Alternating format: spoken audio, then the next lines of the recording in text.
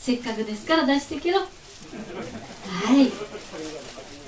なんと1年2年目は白黒で。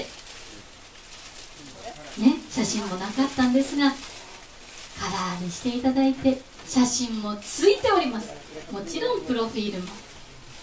まあちょっとカップリングの歌詞がないのは勘弁してけろ。